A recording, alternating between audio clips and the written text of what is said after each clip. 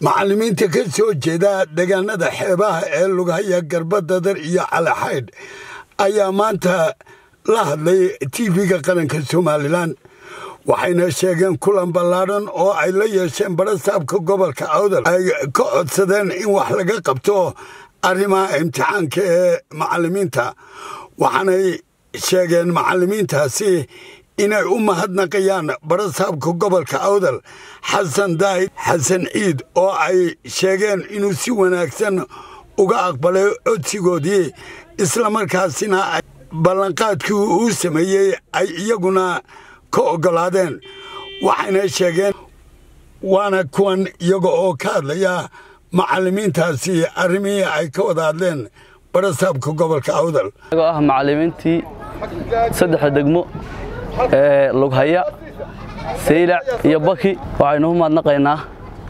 barasaabka gobolka awdal xasan ciid ilaahay karaameeye.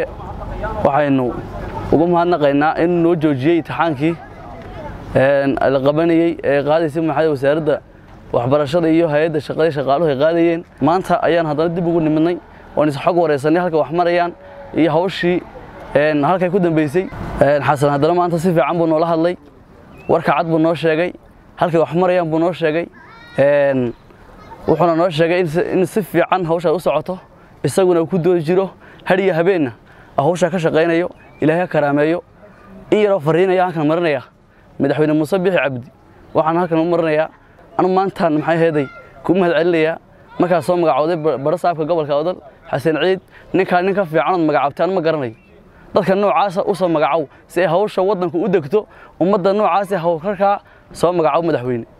Haddii dad hawlkara waa hawshooda og waxay qabanayaan og waxaa loo egmada garanaya haddii la magacaabo. Waddanku waa degaya sidaa xasan ciid u soo magacow nin waliba shaqada u leeyahay. Nin caaqila odaya maxay odaynimo iyo aqoonnimo aqoon wax ku dhammaynaya ayaa soo magacowday.